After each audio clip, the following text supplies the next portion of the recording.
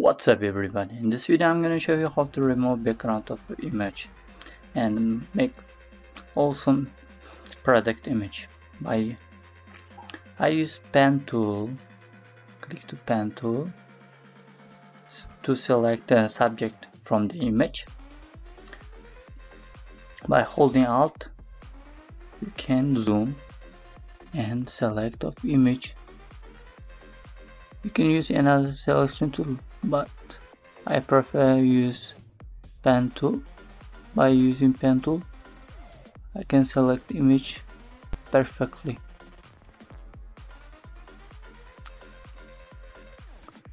By zooming we try to make awesome selection